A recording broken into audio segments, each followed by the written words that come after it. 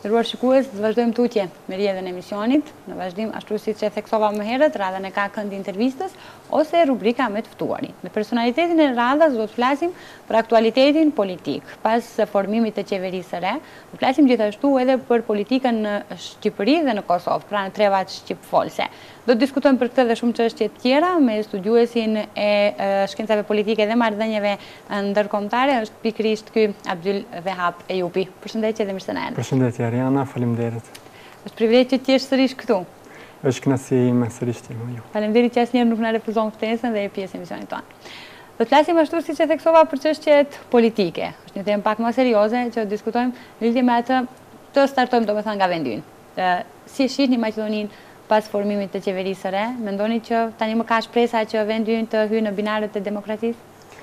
Po si çdo fillim i ri bart në veta dhe ngërthen në veta edhe shpresën për një të mirë, për një politikëbërje më të mirë për gjenerata të ardhshme, për shtetndërtim dhe për çështje të ndryshme, por kur është tek demokracia dhe veçanërisht tek demokracia funksionale, kjo është një proces vërtet shumë kompleks dhe veçanërisht kur është çështja e post le të themi, periudha e tranzicionit apo post ndryshimit të pushtetit që ishte diku 10 vjeçar, vërtet është periudhë, pason një periudhë shumë komplekse dhe e vështirë për shkak se demokracia si e tillë veçanërisht e funksionale kërkon gjithëpërfshirje të gjithë shoqërisë. Është një proces vërtet inkluziv që gjithkush, nga nga gjitha sferat të ndryshme kërkon participim drejtpërdrejt, drejt afirmimit të vlerave apo drejt proceseve të humbura dhjetë viteve të fundit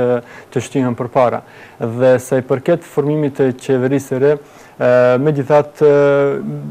preferoj të jem sërish kritik për shkak se duke për shkak se pasi ndjekim dhe marrim për model vendet europiane, domethënë elementi që ka nxit dhe i ka zhvillu gjitha vendet dhe shoqëritë europiane është elementi i kritikës dhe në nga pikëpamje kritike por konstruktive, jo në atë aspekt, domethënë të jemi kritik konstruktiv, mendoj që si fillim puna e parë që pason kjo kjo qeveri është ajo e rehabilitimit, ajo e ristrukturimit dhe e vënies në praktikë të një strategjie të re, gjithsesi asaj të cilën nuk të cilat e bënë ata këta nuk duhet ta bëjnë. Kjo është pika e parë. Pika e dytë ndoshta ë rreth kthimit të demokracisë në binare vërtet, megjithatë mendoj që mendoj që do do të jenë dhe do duhet të jenë më më demokrat apo më fleksibil në realizimin e atyre premtimeve apo asaj fushate të madhe që bënë drejt rrëzimit dhe përmbysjes së atij regjimit që ishte më herët për shkak se nëse të njëjtën mënyrë apo me të njëjtat metoda nëse vazhdojnë dhe realizojnë pushtetin e tyre, atëherë më së miri e kanë mësimin e atyre si pasardhësve se si është të punohet në kundërshtim me ligjin dhe si është fundi atyre që punojnë në dëm të shoqërive në përgjithësi. Dhe duke marrë parasysh këtë këto elemente, duke marrë parasysh duke pasur gjithë këtë histori më të zymtë, kisha thonë, me, me gjitha ato procese të montuara, me gjitha ato bllokime të eurointegrimeve, me gjitha ato ngecje ekonomike dhe gjitha sferave tjera, mendoj që tashi ky fillim i ri, shpresoj të paktën të mos i përsëritin veprimet e atyre dhe të veprojnë në përputhje me ligjin dhe të jenë shumë më të afërt me popullin, shumë më të afërt veçanërisht me intelektualët, me me profesionistët, veçanërisht edhe çelësi i suksesit mendoj i kësaj qeverie nëse dëshiron vërtet të jetë efektive, do të duhet të shtrijë dorën veçanërisht tek intelektualët, tek studentët, veçanërisht që janë që kanë ikur jashtë shtetit, që janë kanë marrë përvojat e tyre dhe të kërkojnë mbështetjen e atyre, mendoj që me përvojat e atyre edhe me përvojat të gjithanshme që kanë marrë nga jashtë, gjitha në perëndim apo në gjitha vendet tjera, mendoj që kjo do të krijojë një një një fleksibilitet më të madh brendashoqëror këtu në Maqedoni. dhe kështu në mënyrën më të mirë do t'i avancojnë proceset e shtetndërtimit dhe shoqërindërtimit të brenda shoqërisë tonë, brenda shtetit tonë. Meqë përmende studentët dhe përvojat e tyre jashtë vendit, po të të kishin thirrur, që je një ndër studentët që ke studiuar jashtë vendit, do të kishe qenë pjesë për të kontribuar në këtë shoqëri? Gjithsesi, kontributi im asnjëherë nuk ka munguar, domethënë pavarësisht se ku kam qenë, domethënë me shkrimet, me me paraqitjet e mia, me mendoj që çdo herë kam qenë pjesë e, e shoqërisë dhe proceseve brenda këtu, domethënë pavarësisht të hapësirës gjeografike ku kam vepruar apo ku kam studiuar dhe si e tillë, asnjëherë nuk ka munguar dhe nuk do të mungojë, domethënë gjithsesi ky është vendi im dhe do të bëj çmos që të jap më të mirën për vendin, për familjen, për shtetin dhe të ardhmën tonë të përbashkët. Po. Kryeministri i sapo zgjedhur, pra Zoran Zaev, si e shihni politikëbërjen e tij? Ka filluar një nismë të mirë, të themi, pas krijimit të qeverisë? Sa i përket kryeministrit, mendoj që çështja e besimit, i besojmë apo nuk i besojmë, është çështje që në demokraci nuk luan edhe shumë rol, për shkak se demokracia kërkon dhe ajo funksionale kërkon sistem të balancit dhe përgjegjësisë dhe raportit, domethënë vetëm nëpërmjet këtyre mekanizmave do të mundemi që edhe kryeministrin edhe gjithë ministrat po edhe eshalonet tjera domethënë pushtetarët që janë aktualisht t'i kemi në kontroll, domethënë pikërisht ky është elementi kryesor që i mungoi qeverisjes së kaluar, domethënë të Gruevskit, domethënë mosraporti, moskërkim llogaria nga qytetarët apo distancimi nga shoqëria, domethënë apo më e rëndësishme është njësimi i partisë me shtetin, domethënë këto janë ato elemente të cilat e bënën në formë një minidiktaturë, të themi qeverisjen e kaluar, ndërsa hapi i ardhshëm i konkretisht i kryeministrit aktual Zoran Zaev është që të mos përsërit atë gabim, që të jetë i hapur që veçanërisht në raport me shqiptarët, për shkak se tek pala maqedonase gjithsesi mendoj që ka njëfarë vërtet njëfarë ndryshimi, veçanërisht nëpërmjet gjykatës, nëpërmjet ngritjes çështjeve të korrupsioneve dhe çështjet e personave të inkriminuar, ka njëfarë ngritje, ka njëfarë shkundje, kisha thënë, në brenda palës, po këtë element nuk e vërej edhe tek pala shqiptare. Domethënë këto është ajo dyshimi më i madh i imi, domethënë si qytetar, para së gjithash duhet të jetë edhe kryeministri im të jetë një një person i cili duhet jetë gjithëpërfshirës, i cili do i shoh gjithë qytetarët me të njëjtin sy, duke mos i parë me syrin e apo me syrin etnik apo religjioz apo domthonë vetëm nëse të tillë mund të ndërtojmë fillimisht një një shoqëri domthonë dhe një shoqëri të suksesshme mbi gjitha dhe institucione të besueshme për shkak se elementi ndoshta kryesor për të cilën sot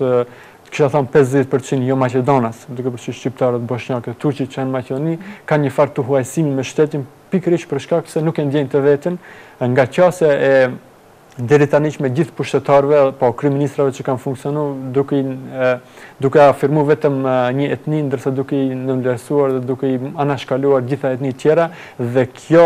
ka kalu, ka ndikuar të, tek populli në përgjithësi, tek popullata jomaqedonase që ta krijojnë atë huajsim ndaj shtetit, Dhe kështu që mos i besojnë institucioneve shtetërore, tashi është një një apati e përgjithshme domethënë edhe tek veçanërisht brenda shqiptarëve dhe një mosbesim i madh ndaj shtetit, e tash sfida më e madhe e kryeministrit aktual, domethënë siç e potencon, po edhe gjithë stafit të qeverisë është që ta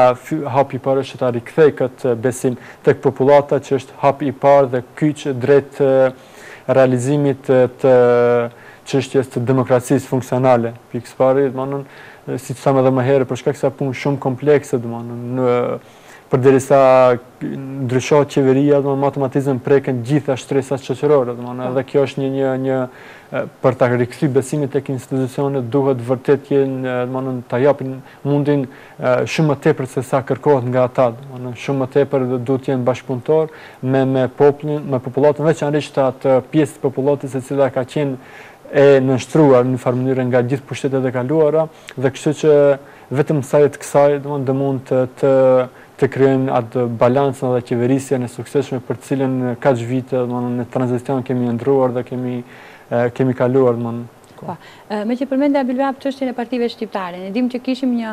marrëveshje, një deklaratë ose platformë të nënshkruar nga partitë shqiptare në Tiranë. Mendoni që pas krijimit të qeverisë së re, sadopak është harruar kjo çështja e kësaj platforme shqiptare ose ndoshta unë paragjykoj gabimisht? Jo, e keni me të drejtë, domethënë gjithsesi, mendoj që pozicionin që e patën partitë politike shqiptare në Maqedoni, veçanërisht me deklaratën që u nënshkrua me ndërmjetësim të kryeministrit të Shqipërisë, zotëri Edi Rama, ishte mundësi e artë dhe mundësia më e mirë që kishin shqiptarët e Maqedonisë drejt faktorizimit të tyre, apo më e rëndësishme drejt politizimit të qenies shqiptare në Maqedoni që asnjëherë nuk është bërë deri më tani. Këtë mundësi, fatkeqësisht, fatkeqësisht, partitë aktuale që hinë shqiptare, që hinë në qeveri, e anashkaluan, fatkeqësisht, për shkak të idealeve më të mëdha, për shkak të ndërtimit të shtetit, për shkak të vetëm të kalimit nga qeveria e kaluar drejt qeverisë së re, domethënë dhe kjo duke i ngritur duke ngritur retorikën në këtë nivel, domethënë u harru disi platforma për të cilën mendoj që është kyç. Pa atë platformë, është përfolur shumë edhe është... Nuk iu dha mandati Kryeministrit Zoran Zaev, shkaku i platformës? Shkaku i platformës edhe gjithë ajo rrëmujë, domethënë 6-7 mujore, gati se nga dhjetori deri në qershor, u bë shkaku i asaj platformës edhe në fund të kyçesh në qeveri vetëm... pa platformë dhe pa asnjë më e rëndësishme, asnjë pikë nga programi i platformës në qeverinë domethënë zyrtare, domethënë gjë që edhe ditët e kaluara gjithkush ishim dëshmitarë të programit qeveritar ku thuhet domethënë qartë që programi i qeverisë së re domethënë nuk ka asnjë pikë nga platforma shqiptare, gjithsesi ruhet unitariteti i shtetit edhe forma e deritanishme të funksionimit, ndërsa kthehemi rëndësia e platformës shqiptare është shumë me rëndësishme se sa potencohet, në fakt edhe nga intelektualet, po edhe nga vetë politikanët, domethënë shumë pak potencohet rëndësia e saj, për shkak se e gjithë situata, e gjithë ki korpus i zhvillimeve deritanishme që potencon deri tani, erdh nga shkaku i neglizhencës dhe afirmimit një kombësie dhe afirmimit një njësimit një kombësie me shtetin, ndërsa anashkalimi i gjithë kombësive tjera. Veçanërisht këtu pikësëpari vjen në shprehje shqiptarët. Edhe anashkalimi i kësaj platforme vërtet për mua paraqet një një një një zhgënjim jashtëzakonisht të madh, domthonë për shkak se gjithkush patëm shpresa që nëpërmjet kësaj më në fund erdh edhe momentumi shqiptar që të faktorizohen në shtet, domethënë dhe në Kushtetutë tek e fundit jemi jemi shoqëri domethënë demokratike që vetëm nëpërmjet proceseve kushtetuese, nëpërmjet proceseve demokratike brenda ligjore, brenda institucionale do të mund të avancojmë qenien tonë brenda shtetit, ndërsa platforma ishte njëra nga ata pikat e arta, domethënë ku assesi nuk duheshte të hidhet haptej pa pa konsenzus. Fatkeqësisht ato u kyçën në qeveri, ndërsa e vetmja parti është tash Lëvizja Besa në opozitë që qëndron ende denjësisht i qëndron ballë asaj, dhe gje, në fakt, po, partitë, po, krerët e subjekteve politike shqiptare me përjashtim të Lëvizjes Besa nuk morën pjesë në takimin që e patën në hotel. Ishte thirrës po, se... Po, ishte thirrës pra po, kryetari i integristëve, Ali Ahmeti, për të cilën mendoj është e kotë tash të diskutohet për shkak se u kalua momentumi. Tashmë vetëm programi qeveritar është krijuar, eshalonet janë ndarë gjitha, kanë filluar punimin gjithë ministrat, si ata shqiptarë, si maqedonas, ndërsa do të për këto pika duhet të presmi pas 2, 3 ose 4 vitesh nëse shkon, nëse vazhdon ki po. mandat i kësaj qeverie. Gjithsesi jam vërtet pikë së pari si qytetar, pas edhe si, si studiues i shkencave politike, ndjej një, një, një zhgënjim edhe një zbehje të shpresave fillestare që i kisha me rënien e regjimit të kaluar dhe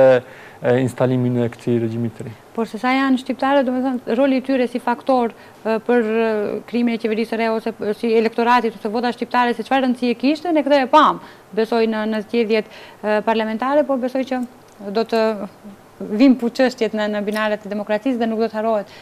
kjo platformë. Një pikë tjetër që shihet me sy kritik edhe nga ana e shumë femrave të themi, nga bota feministe më tepër është numri shumë i vogël i gjinisë femërore në qeverisjen e re. Pse në fakt ka ndodhur një gjë e tillë dhe si mund të luftohet të themi në një farë forme një dukuri e tillë? Në fakt në në në botën demokratike le të themi, sërish me këtë fjalor le të vazhdojmë,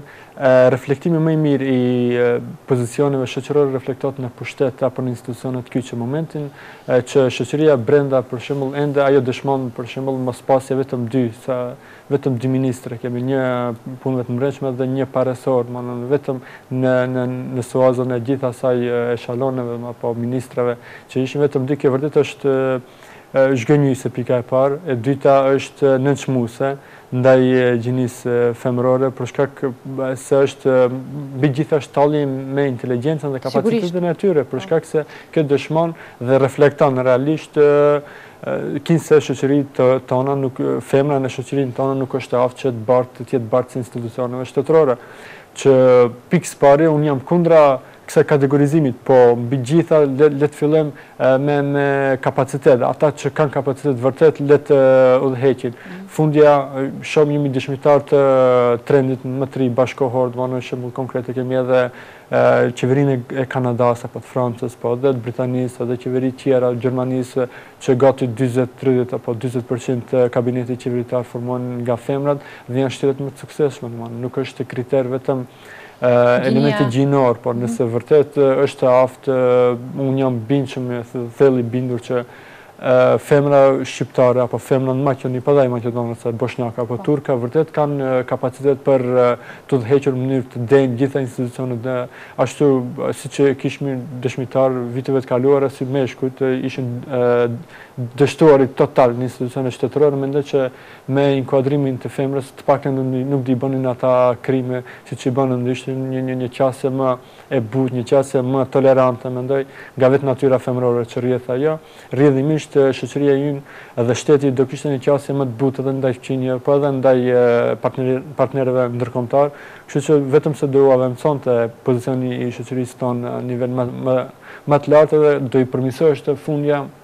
nga gjithë ai imazh i zymtë që veçanërisht pesë vitet e fundit u krijua për Maqedoninë nga ish regjimi, domethënë prania e më shumë femrave në qeverisjen aktuale vërtet do reflektonte një farë ndryshim drastik të imazhit si në formë, po ashtu edhe në përmbajtje gjithsesi. Po, do të thotë ju jeni përkrahës i mendimit që duhet edhe femrat të jetë pjesë e politikëbërjeve. Gjithsesi, Por te vetëm një një shtesë, por vetëm, jo vetëm femra tjetra, por femra e pregaditur edhe e cila është e aftë që t'i barë proceset. Për shkak se çdoherë rrymat moderne, feministe, domethënë, çdoherë vetëm e shohin atë elementin e përfaqësimit, domethënë, duke anashkaluar elementin e cilësisë, për mua Nëse vërtet femrat kanë kapacitet le të jenë domethënë edhe nëntëdhjetë për qind le të udhëheqin, po le të jenë ata që vërtet e meritojnë, jo vetëm pse është femër edhe të të udhëheqë një institucion e ajo pastaj të ketë konsekuenca vërtet shumë negative. Varet nga kapaciteti, sepse femra si dekor vetëm kuptohet që nuk na duhet edhe në shoqëri. Flasim pak për çështjen e asaj se cili mendoni ju, cili dikaster ka më tepër nevojë për pak më tepër punë, ku mendoni që kanë ngecur punët më tepër nga qeverisja e kaluar? Për me diskutu rreth dikastereve konkrete, mendoj që gjitha dikasteret janë në ngecje të jashtëzakonshme dhe pika ndoshta e parë nga ku duhet edhe të fillohet, mendoj që është pika e drejtësisë.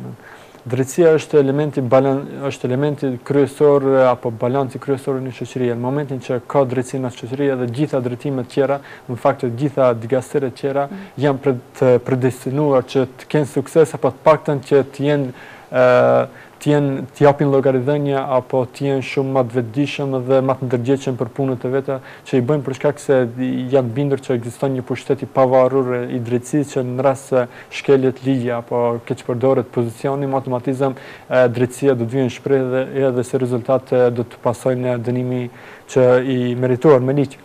Ndërsa tek ne fatkeqësisht drejtësia ishte elementi kyç zhbërja e drejtësisë dhe partizimi mbi gjitha i drejtësisë ishte elementi që solli deri në këtë gjendje të fundrinës shoqërore apo të shtetit në përgjithësi, edhe nga aty ku filloi, nga aty edhe duhet të bëhet ndryshimi më i madh, mendoj që është drejtësia. Drejtësia, drejtësia e pavarur është kriter kyç, domethënë për funksionim të drejtë të gjitha institucioneve tjera shtetërore, po edhe të shoqërisë në përgjithësi. E dyta, ndoshta edhe nuk është mirë t'i kategorizojmë, po së bashku me të parën është gjithashtu edhe arsimi. për shkak se arsimi prodhon kuadrin e nevojshëm për ndërtimin e shoqërisë dhe institucioneve dhe vetëm me kuadrë të, të mirë arsimuar, të mirë pregaditur, me dijen e nevojshme dhe përvojën e duhur, mund të jenë bartës denjë të zhvillimeve shoqërore, ndërsa fatkeqësisht ne kemi universitetet tona janë në në buzë greminë as do do kisha thënë të të kolapsit në përgjithësi për shkak të politizimit të gjithë institucioneve arsimore në përgjithësi dhe universiteteve në, në veçanti edhe punë është jashtëzakonshme e ministrisë në bashkëpunim me prindërit në bashkëpunim me gjithë organizatat joqeveritare duhet të bëhet një një një rishqyrtim i gjithë sistemit arsimor, do të thonë një rikontroll i gjithë stafit akademik nga nga foshnjoret do kisha thënë deri në universitete për shkak se dhjetë vitet e fundit vërtet ishte një politizim i egër i sistemeve arsimore të cilin arsimi dhe shkenca nuk e duron dot, do të arsimi dhe universiteti është i predestinuar të jetë i lirë dhe vetëm sajë të lirisë do të mund të prodhon profesionistë të aftë që do të drejtojnë shoqërinë edhe shtetin, ë Edhe për pasojë, domethënë do kemi edhe shoqëri progresive dhe shtet të denjë ku gjithë qytetarët do do e ndjejnë pikërisht të vetën dhe do jenë krenarë me me atë shoqërinë. Domethënë drejtësia dhe arsimi mendoj shëndetësia gjithsesi, domethënë është pikë shumë e rëndësishme. Shëndetësia fatmirësisht kemi një një një një bartës ndër të paktët, kisha thënë shqiptarë që janë denjë për atë pozicion që ndoshta është i vetmi shqiptar për për momentin që në mënyrë të denjë edhe e merr pozicionin po edhe po e udhëheq nga paraqitja dhe performanca fillestare e kësaj që shpresoj vetëm të vazhdojë në këtë formë dhe vërtet në fund të rezulton me me efekte edhe konkrete, edhe deri në fund. Pastaj financat, mendoj që financat është një një një keqpërdorim i jashtëzakonshëm i i qeverisjes së kaluar, së bashku me Ministrinë e Kulturës, domethënë me Shkupin 2014 dhe veçanërisht Shkupi 2014 si kryeprojekt i apo imazh do kisha thënë i gjithë qeverisë së kaluar, që nga njëra aspekt është është e gjithë falso, dhe nga ana tjetër edhe krim ekonomik, domethënë pasurim i jashtëzakonshëm i gjithë institucioneve, zbrazje xhepave të qytetarëve, boshatisje e gjitha të mirave shoqërore, në fakt vetëm e vetëm për një qëllim për ndërtim të identitetit antik maqedonas, domethënë për gjitha ai projekt 600 milion euro që supozohet dhe sillen numrat rreth asaj shifrës, domethënë janë vërtet marramendëse për një shoqëri dhe një shtet në krizë skajshmërisht të thellë ekonomike, financiare, domethënë edhe gjitha aspektet tjera. Domethënë këto 3-4 dikastere mendoj janë kyçe drejt nëse vërtet do kemi njerëz edhe vërtet do funksionojë Ligji, do të thotë pikësëpari dhe do funksionon ndërgjegjja dhe bashkëpunim me gjitha instancat shoqërore, mendoj se këto është edhe ai çelësi i suksesit të kësaj qeverie apo çdo qeverie që do vijë pas kësaj. Po. Flasim pak për zgjedhjet lokale. Si i parashikoni zgjedhjet lokale, rezultatet e tyre? në një farë forme. Mendoj që zgjedhjet lokale, po, vetëm se ka filluar, de facto ka filluar kampanja e zgjedhjeve lokale, për shkak se pritet edhe zyrtarisht të shpallen diku nga mesi i tetorit, dhe pritshmëritë e mia për zgjedhjet lokale janë gati se vërtet janë të mëdha nga aspekti i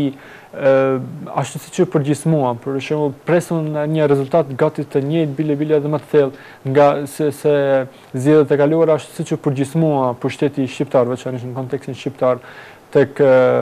elementi shqiptar, domethënë duke e përgjysmuar besa lëvizja këtë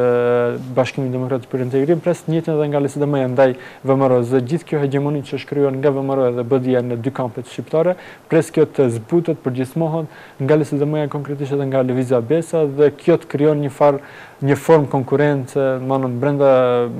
kampeve shqiptare që realisht elementi pozitiv i kësaj është që kërcënimi real që nuk e ka patur asnjëherë si VMRO ashtu edhe BDI deri tani nga oponentët e tyre, domethënë konkretisht Lëvizja Besa dhe LSDM-ja, tash mendoj që është hapi i fundit që të reformohen të dy partitë, Domethënë është hapi i fundit që të nxjerrin kandidatë vërtet të denjë, për shkak se konkurenca vërtet që e sjell Lëvizja Besa me njerëzit e saj, me mirëorganizimin e saj që që posedon dhe me shtrirjen gjerësisht në terren, veçanërisht rajonit nga Kumanova deri në Dibër, mendoj që është kërcënim shumë i madh real i BDI-së dhe që ka mundësi edhe komunat kyçe Shkupit, Tetovës, ndoshta dhe të Gostivarit t'ia merr, kështu që për pasojë BDI-ja do do fillon të fillimi i fundit të të asaj, kështu që është një një një thirrje apo një alarm shumë i madh për BDI-në që vërtet të reformohet nga brenda, të nxjerrë njerëz të jo të inkriminuar në në pah dhe me kandidat të, të rinj të, të, të, tipit të atillë të garon. Përndryshe, mendoj që edhe popullata është vetëdijesuar dhe ashtu siç e dënoi me përgjysmim në, në zgjedhjet e dhjetorit, shumë afër është dhe nëse nuk reformohen gjithnjë, të dënojë edhe në zgjedhjet lokale. Po. Përveç Maqedonisë do doja pak të bënim edhe një vlerësim në zgjedhjet e Shqipërisë që ishin të dielën të dielës së kaluar dhe njëkohësisht zgjedhjeve në Kosovë. Domethënë vlerësimi juaj edhe njëkohësisht më intereson të gjitha këto treva shqipfolëse, Shqipëria, Kosova dhe Maqedonia. Cila mendoni që ka hapëruar më pozitivisht dhe që ka më tepër shpresë për gjeneratat e reja? Mendoj është është interesant komparacioni veçanërisht bota shqiptare në përgjithësi, por veçanërisht Kosova dhe Maqedonia janë për shkak se proceset që ndodhin në Maqedoni, domthonë apo në Kosovë dhe anasjelltas ndikojnë jashtëzakonisht shumë proceset njëri me tjetrin, për shkak se lidhjet e afërta, le të themi familjare, shqiptarëve të Maqedonisë me të Kosovës, pastaj edhe afërsia gjeografike, domthonë e kaluara e përbashkët veçanërisht historike nga nga Jugosllavia. Po procesi i strukturimit të shoqërisë apo ndërtimit të shtetit është shumë i përafërt edhe proceset që ndodhin në një shtet me automatizëm reflektojnë jashtëzakonisht tek shteti tjetër. Edhe për pasojë në aspekt politik për shembull e kemi partitë bartëse të pushtetit që kanë qenë në Kosovë edhe në Maqedoni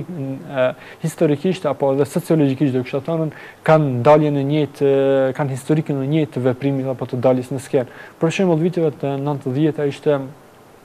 Ibrahim Rugova me partinë, me LDK-në e tij, si partia e parë në Kosovë që u themelua, me automatizëm ishte periudha e fillim, e fundit të shkatërrimit të Jugosllavisë dhe fillimit të demokracisë, do kisha thënë, në shtetet post-jugosllave. E njëjta gjë ndodhi edhe në Maqedoni Post pavarësisë nëntëdhjetë e një ishin me PPD-në, domethënë të dy partitë bartin atë frymën e tranzicionit nga Jugosllavia drejt afirmimit të vlerave demokratike, domethënë edhe kështu që vazhdojnë deri vitet nëntëdhjetë e katër, pesë kur edhe PDSH me të njëjtën frymë strukturimit të PPD-së apo apo në Kosovë partitë e vogla që u paraqitën ishin për reformim të kësaj. Deri lufta për shembull nëntëdhjetë e nëntë apo dy mijë ishin këtu tek ne që Lufta prodhoi edhe dy subjekte të reja, tek ne BDI-në ndërsa në Kosovë PDK-në. Po. Është lidhje shumë e afërt, domethënë sociologjikisht lidhen. Edhe këtë qeverisje që e patën në fakt të dyja që nga dy mijë e dysha janë edhe BDI-ja edhe PDK edhe kanë bashkëpunim të jashtëzakonshëm, struktura e funksionimit është shumë e përafërt e tyre ku në përgjithësi si taban e ndërtimit, ngritjes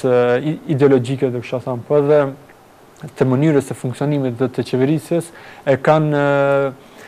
për emblemë UÇK-në, legjitimitetin kryesor, domethënë, kanë një strukturë vërtet të centralizuar të funksionimit, kanë domethënë funksionarë të inkriminuar, do kisha thënë fatkeqësisht në përgjithësi, edhe tash funksionimi i tillë nga 2001, apo nga 99 në Kosovë, deri ditëve tani 2008, apo 9, kur doli Lëvizja Vetëvendosje, doli në në shprehje si kundërshtim ndaj kriminimit dhe dhe pos dhe mënyrës së qeverisjes së Kosovës së postpavarur pas dy mijë e tetës, domethënë nga pakënaqësia e mënyrës së qeverisjes dol Lëvizja Vetëvendosje, ndërsa në Maqedoni nga pakënaqësia e BDI-së dhe funksionerëve dhe partive tjera dol Lëvizja Besa. Domthonë kemi tre hapa të rëndësishëm, tre etapa të rëndësishëm të daljeve në skenë, të njëjta gati se identike, domthonë edhe tashi këtë hap që e pat Lëvizja Besa këtë Hov, do kisha thënë, apo këtë përgjysmim të BDI-së që e pat në dhjetor të dy mijë të vitit të kaluar, këtë përgjysmim apo këtë rritje të dyfishtë e pat Lëvizja Vetëvendosje në Kosovë në zgjedhjet e kaluara dhe mendoj që është një trend i ri që shqiptarët tashi po rënditen drejt partive kushtimisht të thënë nacionaliste nga ai aspekti, apo drejt partive me taban të fuqishëm antikorrupsion. që janë Lëvizja Vetëvendosje në Kosovë edhe Lëvizja Besa këtu tek ne, edhe besoj që procesi vetëm se më ka filluar dhe besoj që rinia që është e që po e përqafojnë këtë ide, këto ide, do të kisha thënë dhe këtë bashkëpunim, besoj që një vjet, dy apo tre apo zgjedhjet e ardhshme, domosdoshmërisht të reflekton edhe me me pushtet. Dhe mendoj që Vetëm në sajë të kësaj do kemi një farë fundja, një farë shkundje të gjithë shoqërisë tonë dhe më në fund do vijnë në shprehje, domethënë në pah ato vlera të që posedojmë fundja shoqëria shqiptare, ndërsa sa i takon partisë në Shqipëri, politikës, politikëbërjes do kisha thënë më mirë në Shqipëri, fatkeqësisht do kisha thënë këtë shpresë që kanë shqiptarët e Maqedonisë dhe Kosovës, pavarësisht sfidave tjera, për shembull shqiptarëve të Maqedonisë të marrëdhënieve ndëretnike apo debllokimit të eurointegrimeve apo Kosova raport që ka sfida të mëdha me demarkacionin apo me komunën me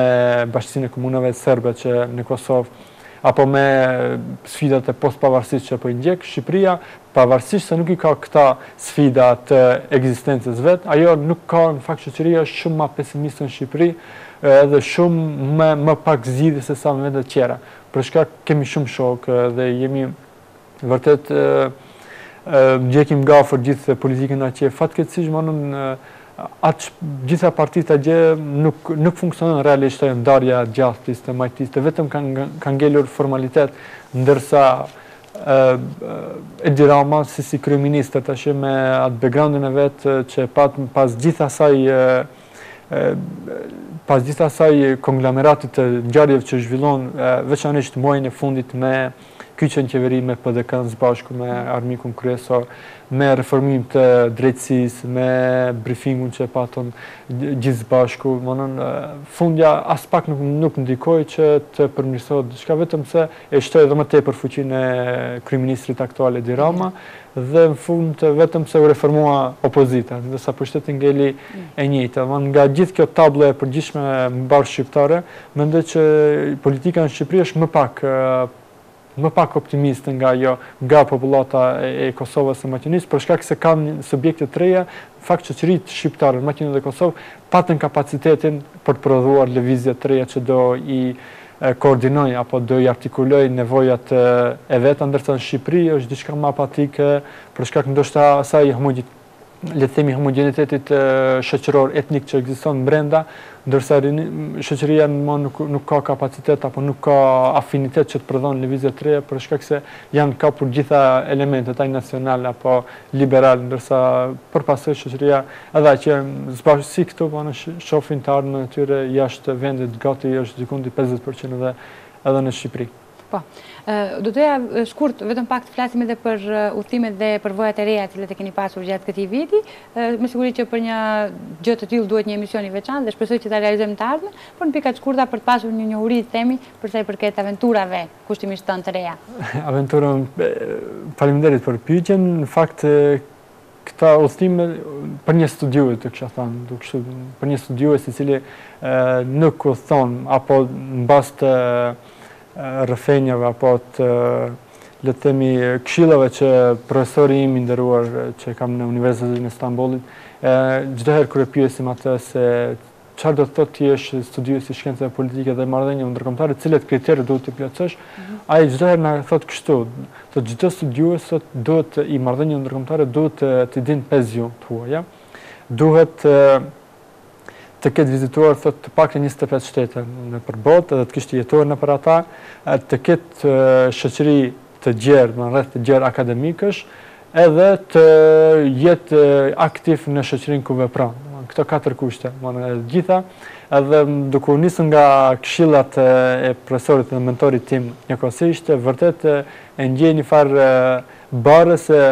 vërtet sa më, të, të shëtis sa më tepër që është e nevojshme, për shkak se çdo shëtitje bart në vete edhe përvoja të jashtëzakonshme, për shkak se atë që atë në teori që mëson në universitete nëse nuk e praktikon, nuk e praktikon, nëse nuk del, nëse nuk vërtet shef forma të ndryshme të zhvillimit, të organizimit dhe funksionimit të shoqërive të ndryshme, me automatizëm je një farë mënyrë jashtëzakonisht i cunguar dhe je i mangët. Dhe momentin që së fundi herë për shembull isha në Kroaci dhe në Spanjë, Dhe në shtator kemi në në Itali, shpresoj edhe në Portugali, kemi disa seminare, manon që që participojmë atje. Me automatizëm njihesh me me studiues apo me kolegë tuaj nga nga gjithë anët e botës dhe ke mundësi të komunikosh, të shkëmbesh përvoja dhe vërtet ta njohësh përvojë, të njohësh botën dhe globalizmin dhe gjitha proceset integruese aktuale që ndodhin në botë në formë praktike t'i prekësh ata. Dhe kur kthehesh në vendin tonë, vërtet i sheh gjithë, domethënë si presidentin, si proceset politike, nga një frymë vërtet më nga nga një frymë shumë më më liberale, me që të them më relaksuese dhe shumë më qartë i kupton gjitha intrigat. Që shpresoj që këtë frymë relaksuese ta sillni edhe në shoqërinë tonë. Unë të falenderoj shumë që ndave nga koha jote për të qenë pjesë në emisionin tonë. Faleminderit për kontributin. Faleminderit edhe juve për ftesën. Nderuar shikues, ka qenë kjo pjesa me të ftuarin. Vazhdoni dhe më tutje të qëndroni me ne, ne do të rikthehemi në studio pas pak për të bërë përmbylljen e emisionit.